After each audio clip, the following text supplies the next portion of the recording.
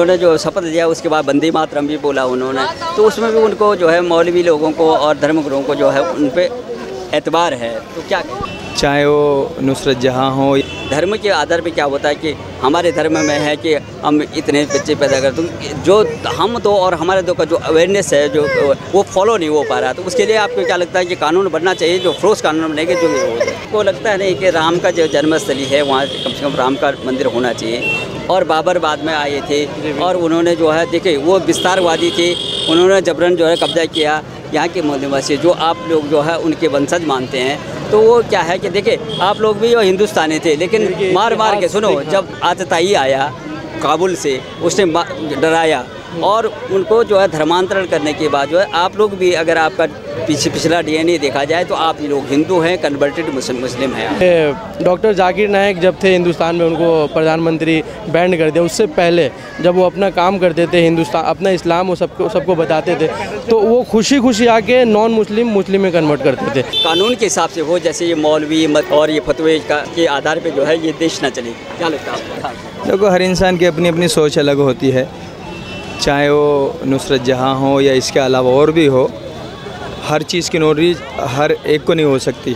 जिस बात का मुझे मालूम है आपको नहीं हो सकता और जिस बात का आपको मालूम है ज़रूरी नहीं कि मुझे भी इल्म हो उस बात तो दीन की सब्सिडी और दीन की नॉलेज हुए एक अलग दूसरी चीज़ हो गई और और साइंस में बोलना और या, या इसके अलावा कोई डिग्री बड़ी हासिल कर लेना इंजीनियर बन जाना या डॉक्टर बन जाना ये एक अलग नॉलेज हो गई। तो डॉक्टर का काम मौलाना नहीं कर सकते मौलाना काम डॉक्टर नहीं कर सकते। तो ये अपना अपना अलग अलग रू अलग अलग अपना तरीका है अपना अपना उसका अपना रास्ता है अपनी अपनी सीट है अपना अपना अहदा है। तो वो जिस अहदे पर बैठे हैं वो अपने अहदे पर मुकम्मल फाइज हैं वो अपने एतबार से अपनी नॉलेज के एतबार से मुकम्मल बयान कर। उन्होंने जो है देखिए उन्होंने आपके यहाँ जब वो उन्होंने शपथ लिया था तो उन्होंने लोकसभा अध्यक्ष का जो है पैर भी छुआ था। तो आपके धर्म में कहते हैं कि वो पैर छूना हमारे यहाँ जो है गुनाह है। उन्होंने जो शपथ लिया उसके बाद बंदी मातरम भी बोला उन्होंने। तो उसमें भी उनको जो है मौलवी लोगों को और धर्मगुरुओं को जो है उन पर एतबार है। तो क्या भाई उन्होंने क्या क्या बोला ये तो मुझे मालूम नहीं है। जो अगर मेरे सामने कोई बात होती मैं उस पर कुछ बोलता जिस जब मुझे उनके मुतालिक कुछ मालूम नहीं इसलिए मैं इस बारे में कुछ बो, बोल भी नहीं सकता। और वो फतवे क्यों जारी होते हैं? ना फतवे किसी ज़ात के ऊपर नहीं होते। कि भी उसने ऐसे किया है या उसने ऐसे किया। एक आम बात कही जाती है। फतवे जो जारी किए जाते हैं किसी ज़ात को लेकर नहीं किए जाते। तो वो वो हर इंसान पर डिपेंड करता है। वो हर इंसान पर लागू होता है। और उसमें आप लोग या इसके अलावा मैं या कोई भी किसी इंसान को टारगेट बना लेना ये बेहतर बात नहीं है। लेकिन जैसे हम आप, आप आपके विचार में क्या होना चाहिए कि ये ये फालतू फंड की बात नहीं जैसे कि माना अभी देखिए जो अभी सबसे बड़ा मुद्दा चल रहा है कि तीन तलाक पे जो बात चल रही है तो उसमें क्या कहेंगे आप? जैसे कानून बनने वाली बात चल रही है कि ती, तीन तलाक पे कानून बनना चाहिए तो आपको क्या लगता है? क्या आपको लगता नहीं है कि तीन तलाक कानून जो है वो लगन जारी होना चाहिए या चाहिए हाँ, तीन तलाक तो ये काफ़ी दिनों से क्या एक साल से भी ऊपर हो गया और बड़े बड़े ओलमा ने अपना अपना मौक़ रखा है इसके ऊपर। तो जो जो आप लोगों के सबके सामने बात आ भी गई है, सही क्या है और गलत क्या है, और कराम ने अपना अपना जो मौक़ रखा है, वो भी दुरुस्त है। उस बारे में मैं एक छोटा सा अदना इंसान में कुछ नहीं कह सकता उस मुतालिक तो सारी बात खुल कर आ चुकी है। वो तहरीरी शक्ल में भी और तकरीरी शक्ल में दोनों चीज़ों में आ चुकी है। मैं इसके ऊपर क्या बयान आपको लगता नहीं कि महिलाओं के साथ जो है, किसी को कंप्लेंट जाते हैं, महिलाओं के साथ कहीं ना कहीं अन्याय होता है? तो वो लोग, महिला, आपके यहाँ जो महिलाएँ हैं, वो भी चाहते हैं कि इससे कानून बने और इससे छुटकारा मिले। एक छोटी छोटी बात पे जो है तलाक, तीन तलाक करने से जो है उनको छोड़ दिया जाता है। नहीं नहीं, कोई चीज़ें, बहुत सारी चीज़ें ऐसी होती हैं जो इंसान को मालूम नहीं होता। किसी भी इंसान जब अजनबी फ़ील्ड में उतरता है तो वो मैदान उसको मुश्किल नज़र आता है। तो जिन लोगों के सामने तलाक का मसला ही नहीं है तो उनको तो बड़ा हंगामा से लग रहा बड़ा ऐसा लग रहा कि किसी के ऊपर अत्याचार हो रही है, जुल्म ज़्यादती हो रही है, इनको पर्दे में रखने, कैद किया जा रहा है। ऐसा नहीं है, जब अब तसल्ली के साथ में, इन तीन तलाक के मुद्दे को आप संगीन के साथ में बैठ कर समझेंगे तो मैं समझता हूँ आपके दिल की आवाज़ भी यही होगी कि ये बिल्कुल बेहतर है और ये कदम बहुत अच्छा है। इस्लाम का हर हर पहलू, हर इंसानियत के लिए अमन शांति और सलामती का पैगाम है। बस वो लोगों को सामने नहीं है तो इसलिए वो दुशवार नज़र आता है। लेकिन आप समझे बैठ के इन तो मैं समझता हूँ कि आप यही बोलेंगे कि हर पहलू दुरुस्त है। जैसे कश्मीर का एक समस्या है, जैसे धारा तीन सौ सत्तर पैंतीस ये तो वो अलग करती है कश्मीर को। तो आपको क्या लगता है कि अगर वो धारा ख़त्म हो जाए तो देश में एक जैसा जो है, जैसे हम दिल्ली में स्वतंत्र घूमते, कश्मीर में हम घूम नहीं सकते, वहाँ हम प्रॉपर्टी नहीं खरीद सकते वहाँ के लोगों के साथ रिश्ता नहीं लगा सकते। आपको क्या लगता है कि ये ये कानून जो है, हटना चाहिए? क्या बरकरार है? ना कश्मीर के मुतालिक जो दफ़ाएँ हैं और जो जो आमतौर से खबर आती रहती हैं हकीकत उनकी क्या है मैं उसको ही नहीं समझ पाया हूँ तो उसका जवाब देना भी आज ही से और कासिर है है जैसे हम यहाँ फ्रिक्वेंटली घूमते हैं अदर स्टेट में कहीं भी हम प्रॉपर्टी खरीद सकते हैं एक भारत के नागरिक हैं हम स्वतंत्र रूप से रह सकते हैं वहाँ वो कानून नहीं वो अलग करता है भारत से अलग देश से अलग करता है वो कानून तो आपको लग, आप क्या कहेंगे उसको ख़त्म होना चाहिए या? अच्छा वो कानून अपने देश से अलग करता वो इस तरह की धारा है। भाई हमारी खुशी अपनी दिल की आवाज़ तो ये है कि हिंदुस्तान पूरा सलामती का पैगाम होना चाहिए और कश्मीर भी हमारे देश का हिस्सा होना चाहिए क्योंकि हम जैसे सुनने थे- सुनते हैं कि वो हमारे वतन की जो है जन्नत है जन्नत के मानंद है। और उसमें जिस तरह की भी वहाँ खुराफात होती हैं अत्याचार होते हैं या जुल्म ज़्यादती होती है मैं कहता हूँ कि वहाँ भी एक अमन व सलामती का पैगाम होना चाहिए बल्कि पूरे हिंदुस्तान एक पूरी दुनिया के लिए अमन सलामती का पैगाम होगा एक मिसाल कायम होनी चाहिए। क्योंकि जिस तरीके से एक चमन में सभी तरह के फूल होते हैं तो वो गुलदस्ता अच्छा होता है और एक ही तरह के फूल हो तो वो उसकी नूरानियत अलग हो जाती है। तो इसलिए मैं कह, कहना चाहता हूँ कि जितने भी मज़ाहिब हैं हिंदुस्तान के अंदर और हमारी सरकार में उम्मीद भी करता हूँ कि सबको एक निगाह से देखे ताकि और सबके जो हकूक़ हैं, असल बात है हकूक़ अदल इंसाफ की, अगर आदल होगा हिंदुस्तान के अंदर तो अमन व सलामती यकीनी आएगी। बिल्कुल बिल्कुल। अच्छा देखिए, जो जो हमारा आपका नमाज़ पढ़ने का तरीका है, या आपका जो भगवान को मानने का तरीका है, आप आप अल्लाह को मानते हैं, कुछ भगवान को, कुछ गॉड को, वो पूजा पद्धति देखिए, जो जिस प्रकार से आप पूजा करते हैं, वो वो एक होना चाहिए, उसमें स्वतंत्रता है। लेकिन जहाँ तक जो है ना देश का जो कानून है, वो कानून के तरीके से चलना चाहिए। मैं बोलता हूँ, मैं हिंदू हूँ, मेरे तरीके से जो है देश चले। आप बोलते हैं, हम मुस्लिम हैं, आपकी तरफ़ से देश में एक कानून होना चाहिए, नहीं होना चाहिए? आप ना, देश में तो ये है कि जो देश का कानून बना हुआ है, पहले से बना हुआ है अलहमदिल्ला बहुत अच्छा है, और उस पर लोग यकीन भी करते हैं, और तमाम लोगों का यकीन भी है, और जिन लोगों का यकीन नहीं है, उनको यकीन करना चाहिए, और जो अदालतें कायम हैं हमें उन पर पूरा मुकम्मल भरोसा और एतवाद है तो मैं तो ये कहना चाहता हूँ कि जो कवानी बने हुए हैं बहुत अच्छे हैं उन्हीं को फॉलो करना चाहिए। अलबत्त अगर कोई से कानून की चेंजिंग की बात आती है तब्दीली की बात आती है तो तमाम मदाहिब के लोगों को जो रहबर हैं कौम के उनको बैठ कर अगर तरमीम की ज़रूरत है तो उनसे मशवरे के साथ में तरमीम करनी चाहिए ताकि तमाम के हकूक़ बाकी रहे जैसे मैंने बोला कि देखिए अल्लाह को याद करने का वो तरीका जो है आप किस तरह से करते हैं क्या कर, कैसे कर, अपने अपने तरीके से जो है आप किस तरह से जो है अल्लाह को जो है याद करते हैं, उनकी किस तरह से जो है आप जो है नमाज़ अदा करते हैं, हिंदू किस तरह से करता है। ये तो स्वतंत्रता होगी धर्म की स्वतंत्रता होगी। लेकिन जहाँ तक कानून का, अभी देखो सबसे विकराल समस्या देश में जनसंख्या वृद्धि भी हो रही है। हमारे पास संसाधन बहुत कम है और हमें जो है जब हम जो जनसंख्या पर नियंत्रण रखेंगे तो तब सब संसाधन जो है हमें उपलब्ध होगा, क्योंकि बेतहासा तरीके से जो है, जो जनसंख्या बढ़ती जा रही है, उससे बहुत बड़ा खतरा पैदा हो गया, क्योंकि हमारे पास जो है पानी की समस्या है, खाद्यान्न की समस्या है तो उसमें धर्म आड़े नहीं आना चाहिए। ना देखिए धर्म के आधार पे क्या होता है कि हमारे धर्म में है कि हम इतने बच्चे पैदा कर दूँ। जो हम दो और हमारे दो का जो अवेयरनेस है जो वो फॉलो नहीं हो पा रहा। तो उसके लिए आपको क्या लगता है कि कानून बनना चाहिए जो फ्रोस कानून बनेगा जो क्या लगता है? इसके बारे में मैं एक अदना आदमी मैं इसके बारे में कुछ नहीं कह सकता।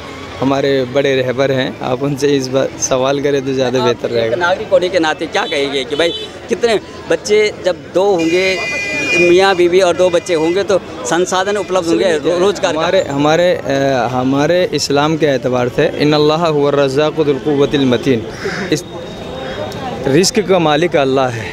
तो हमारा मानना यह है कि बच्चे चाहे दो हों या चार हों छः हों उससे कोई फ़र्क नहीं पड़ता। निज़ाम चलाने वाली ज़ात अल्लाह की है। तो हम उस पर भरोसा करते हैं। हमारे तुम्हारे ये सिस्टम बनाने और बिगाड़ने से कुछ नहीं होगा होगा वो जो अल्लाह चाहता है। बहुत सारी बार आपने देखा होगा, मेरी पूरी कोशिश रहती है, लेकिन मैं नाकाम रहता हूँ। बहुत सारी चीज़ें मेरी आँखें सही देख रही हैं, अकल सही समझ रही है, लेकिन उसके बरक्स होता है।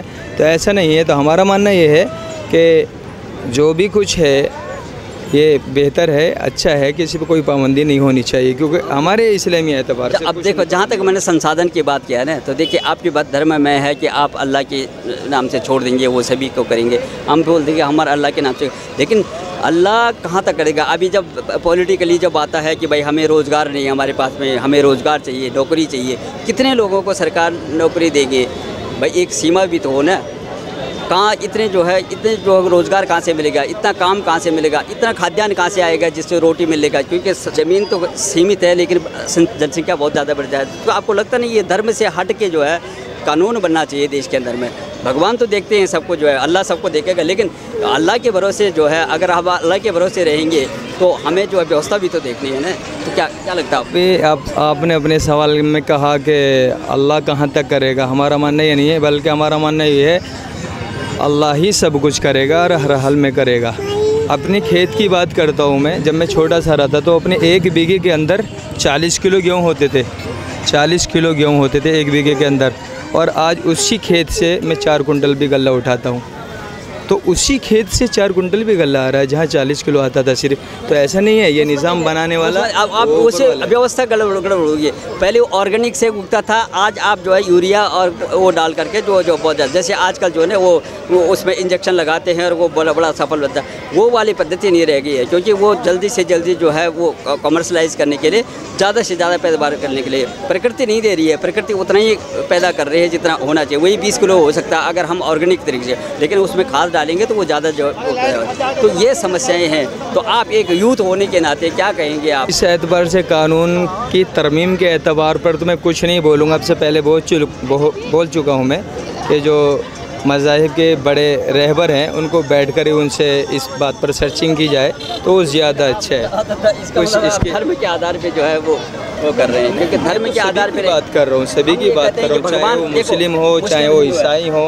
ऊपर वाला अल्लाह को याद करने का जो स्वतंत्रता आप किस तरह से करें? लेकिन जहाँ तक संसाधन के संसाधन जो है पब्लिक का है संसाधन किसी कम्युनिटी विशेष का नहीं है। सारा निज़ाम बनाने वाली ऊपर की ज़ात है इंशाल्लाह वहाँ से ही होगा सब कुछ होगा ऐसा कुछ नहीं है। तो सरकार फिर, फिर सुनिए फिर तो हमें सरकार भी नहीं चुननी चाहिए क्या ज़रूरत है? फिर लोकसभा राज्यसभा और ये तमाम जो सिस्टम बनाने की तो तब तो अल्लाह अल्लाह हम उसी को कह रहे हैं अपने रहबर चुनते हैं और वो जो जिस तरीके से हमें रास्ता दिखाता है उसी तरीके से चलते हैं।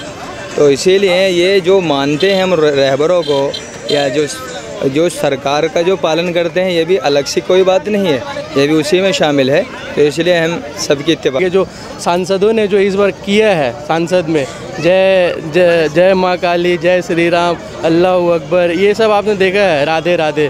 तो ये सब हमारे सांसद की क्या ज़रूरत है? उन्हें हिंदू, मुस्लिम सभी ने वोट देकर उन्हें सांसद बनाया है, उन्हें पार्लियामेंट में भेजा। तो उनको ये करना तो ये तो हिंदुस्तान का कोई फेस ही नहीं है। जो आपके जो मौलवी लोग हैं एक तरफ़ जो है मुस्लिम लड़की ने हिंदू से साथ शादी कर दिया बोला हमारे यहाँ कबूल नहीं है। लेकिन कभी मुस्लिम हिंदू लड़की जो है अगर मुसलमान के यहाँ शादी करते तब तो वो नहीं कहते हैं कि नहीं ये जायज़ नहीं है। हिंदू लड़की को जो है मुसलमान लड़के से शादी नहीं करना चाहिए था। ये तो नहीं बोला मैंने आपको पहले बताया जो धर्म के ठेकेदार होते जो फतवा जारी करते सिर्फ़ उन्हीं लोग कहते हैं। बाकी जो हिंदुस्तान का जो कानून बना है हिंदुस्तान का जो संविधान है वो कहता है कि अगर एक लड़का और एक लड़की बालिक हो जाए तो अपने पसंद से शादी कर सकता है। तो इसमें कोई उसमें कोई हर्ज नहीं। देश में एक राष्ट्र और एक कानून के आप पक्ष रहने एक राष्ट्र और एक कानून। कानून सबके लिए एक हो। कानून सबके लिए एक हो। तो वो उसको क्या कहेंगे कानून बेशक सबके लिए होना चाहिए जैसे चलते हुए आ रहा वैसे ही चलना चाहिए। अगर कोई बूढ़ा करता है तो उसके लिए सज़ा होना चाहिए चाहे वो हिंदू हो मुस्लिम हो सिख चाहे कोई इससे कोई प्रॉब्लम कानून सबके लिए बराबर होना चाहिए। बराबर होना चाहिए। इस कानून के अंतर्गत अगर देखो अलग अलग कानून होना चाहिए। जम्मू कश्मीर की जो समस्या बनी हो वहाँ के लिए अलग कानून है। तो आपके क्या चाहते हैं कि तीन सौ सत्तर और पैंतीस से खत्म होना हाँ धारा 370 हटाने की बात हमारे प्रधानमंत्री 2014 आने से पहले से किया था। आज छः साल हो गया धारा उसकी, जब वो सरकार उनकी बनी, जब सरकार में है तो वो तो भूल ही गए कि हमें हमें धारा 370 हटाना चाहिए। तो हम भी चाहते धारा 370 हटना चाहिए। और प्रधानमंत्री जी ने राम मंदिर के बारे में भी बताया था कि हमारी सरकार आएगी तो राम मंदिर बनेगी। छः साल हो गए, राम मंदिर बनी नहीं, क्यों? तो उसका मसला जो है, अभी कोर्ट में है। कोर्ट अपने तरीके से काम कर रहा है। आपको क्या लगता है कि आप अगर अगर आप वहाँ पे धर्मगुरु होते तो आप क्या कहते हैं? कि वहाँ पे मंदिर बन जाना चाहिए। अगर अगर वहाँ मंदिर बनने से समस्या का समाधान है तो बने कोई दिक्कत नहीं है। धर्म के ठेकेदार तो बोल रहे हैं नहीं ये तो मस्जिद धर्म के ठेकेदार के वजह से ही तो आज वोट बैंक बन रहा है। राम मंदिर एक वोट बैंक है बाबरी मस्जिद एक वोट बैंक है। ये कभी ख़त्म नहीं हो सकता आपस में लड़ेंगे ठीक है लेकिन मंदिर वहीं बनाएँगे। तो इससे हिंदुस्तान खतरे में हाँ। लेकिन अब देखो राम आराध्य देव है और राम का राज्य भी था और अयोध्या में राम पैदा हुए हमें कोई प्रॉब्लम नहीं। हमने बोला अगर आपको लगता है नहीं कि राम का जो जन्मस्थली है वहाँ कम से कम राम का मंदिर होना चाहिए। और बाबर बाद में आए थे और उन्होंने जो है देखे वो विस्तारवादी थे। उन्होंने जबरन जो है कब्जा किया। यहाँ के निवासी जो आप लोग जो है उनके वंशज मानते हैं। तो वो क्या है कि देखिए आप लोग भी वो हिंदुस्तानी थे लेकिन मार मार के सुनो जब जब जब आतताई आया काबुल से उसने डराया और उनको जो है धर्मांतरण करने के बाद जो है आप लोग भी अगर आपका पीछे पिछला डीएनए देखा जाए तो आप लोग हिंदू हैं कन्वर्टेड मुस्लिम मुस्लिम हैं अगर आप ये इस लेवल को मानते हैं कि जब बाबर और अकबर आए और हिंदुस्तान में सबको मार काट के हिंदू को मुसलमान बनाए तो अगर मंदिरों को- तोड़ा गया। को तोड़े अगर ऐसा होता ये हम नहीं मानते। अगर ऐसा होता तो हिंदुस्तान में आज एक भी हिंदू नहीं होता। जब उनका पूरा राज था, वो पूरा 200 साल राज की संतलत उनका था तो हिंदू क्यों रहता है? ऐसा कुछ नहीं होता। हमारा ये इस्लाम कहता है कि हम जबरन, ज़बरदस्ती किसी को हम मुसलमान नहीं बना सकते हम ज़बरदस्ती किसी से अल्लाह अकबर नहीं कर सकते जो आज तरवेज के साथ जय श्री राम बोलने, ना बोलने पर उसका मर्डर हुआ है, ये हमारा इस्लाम नहीं कहता है। आप मानो नहीं, आप देखिए, आप ये डॉक्टर जाकिर नायक जब थे हिंदुस्तान में, उनको प्रधानमंत्री बैंड कर दिया। उससे पहले जब वो अपना काम करते थे हिंदुस्तान अपना इस्लाम वो सबको सबको बताते थे तो वो खुशी खुशी आके नॉन मुस्लिम मुस्लिम में कन्वर्ट करते थे। उनको ज़बरदस्ती या उनको गले घोट के या फांसी लगा के नहीं दिया जाता वो अपने, वो सीख के पढ़ के आके मुस्लिम कन्वर्ट मुस्लिम कन्वर्ट होते थे। तो हमारा इस्लाम है, सच्चा इस्लाम है। आप आइए और पढ़िए अगर आपको अच्छा लगे तो वेलकम नहीं तो कोई कोई बात नहीं है। हमारा कहना है कि देखो इस देश का जो डेवलपमेंट का है इस देश का विकास की बात है हमारा हमारा जो भगवान को याद करने का तरीका स्वतंत्रता होनी चाहिए। बाकी चीज़ों में जो है कानून के तहत में जो भी है उसको हमको धर्म को आड़े नहीं आना चाहिए कि भाई हमारे धर्म में ये नहीं है। दे- देखिए जनसंख्या की बहुत बड़ी जो है समस्या है। आपको लगता नहीं जनसंख्या बहुत ज़्यादा दिक्कत हो रही है? आपके धर्म में कहते हैं नहीं हमारे यहाँ तो जायज़ है और हम लोग जो है वो वो करेंगे। एक मिनट। तो आज नुसरत जहाँ जो सांसद हैं और पश्चिम बंगाल से चुन के आए हैं और आ, उन्होंने जो है जब शपथ लेने के लिए आए थे जब शादी किया उन्होंने एक हिंदू लड़के से निखिल जैन से तो उनके उसमें मांग में सिंदूर था और साड़ी पहना हुआ था मेहंदी लगी हुई थी। आज देवबंद से एक फतवा जारी हुआ कि भाई ये जायज़ नहीं है और वो हिंदू मुस्लिम लड़की जो है मुसलमान से शादी कर सकती है हिंदू से जायज़ है। तो क्या है? कुछ नहीं है ऐसा कुछ नहीं ऊपर वाले ने सबको एक जैसा बना के भेजा है। अब मन की भाषा भाषा आदमी की है कि जो आदमी एक दूसरे को हमारा समझना नहीं है कोई भी बालिक हो किसी से भी कर सकता है शादी। अब ये नहीं कि मुसलमान मुसलमान की लड़की से करे सही बात है। या लड़की मुसलमान ज़रूर होने के मुसलमान नहीं कि मुसलमान हाँ। शादी होगी हिंदू है तो आए, नहीं। जो है जिसका है देव देवबंद का क्या मामला है? कि देवबंद से जो फतवे जारी होते हैं वो जो धर्मगुरु आप लोगों के हैं जो मौलवी लोग हैं वो इस तरह से जो है बयानबाजी क्यों कर देते हैं? देखो बालिग हैं सांसद हैं पढ़ी लिखी हैं एक्ट्रेस हैं इसमें क्या होता है इसमें सिर्फ़ ना पॉलिटिक्स चलती है बस और कुछ नहीं है सिर्फ़ पॉलिटिक्स है कि पॉलिटिक्स के कारण हम सब ये चीज़ ऐसे करें कि वो मुस्लिम है वो मुस्लिम है वो हिंदू है मुस्लिम मुस्लिम से शादी नहीं कर सकते हिंदू हिंदू यार ये क्या क्या सेंस है? कॉमन सेंस वाली बात होनी चाहिए। अब वाला नहीं रहा एक दूसरे का वो अपने मज़हब में पूरा हो सकता है वो अपने मज़हब में रह सकता है कोई बात नहीं शादी करने में क्या कोई गुनाह नहीं है। तो आपको क्या लगता है कि देख जो भगवान को याद करने का या अल्लाह को याद करने का जो है स्वतंत्रता होनी चाहिए आप किस तरह से करते हैं? बाकी बाकी मामलों में जो देश के हित के काम होते हैं जो जैसे आपसी जो है मर्ज़ी से जो उन्होंने शादी कर दिया तो आपको क्या लगता है कि बाकी काम जो है कानून के हिसाब से हो जैसे ये मौलवी मत और ये फतवे का के आधार पे जो है ये देश ना चले? क्या लगता है आपको? बिल्कुल यानी ये चीज़ ऐसा कानून है ऐसा कुछ नहीं कानून ऐसा आप सिंपल सा है हाँ सिंपल की तरह। आराम से जिसको ज़िंदगी जिसके साथ बितानी है वो आराम से वहाँ बिताए बस। कोई इसमें इशू नहीं है कि आपको उसके साथ या इसके साथ ही इसके साथ ऐसा कुछ नहीं है। फिर अभी तो राजनीति कर रहे हैं। राजनीति क्योंकि में नहीं। 2014 में जो है भारतीय जनता पार्टी की सरकार आई है तो फिर आप, नज़र आप, आप कई देखो आतंकवादी घटनाएँ इतनी होती है तो कंट्रोल ही नहीं कर पाते सरकार के पास कंट्रोल ही नहीं होता था। आप आप लगता नहीं तब भी फतवे जारी होते थे। ये जामा मस्जिद से जो है ये, ये इमाम बुखारी जो है ये वहाँ से फतवा जारी कर देता। वो तो राजनीति को भी पलट देते थे कि आप ये बताया उन लोग सब राजनीति से जुड़े हुए फतवे जारी करने वाले करेंगे। मैंने आपको दोनों दोनों पार्टी का नाम बताया मैं राजनीति नहीं कर रहा हूँ। हिंदू हिंदुत्व के जो धर्म के ठेकेदार है वो वो भी हिंदू को लेके धर्म का राजनीति कर रहे जो मुस्लिम के ठेकेदार है जो बोलते कि हम वो भी कर रहे तो दोनों सेम है दोनों सही नहीं है।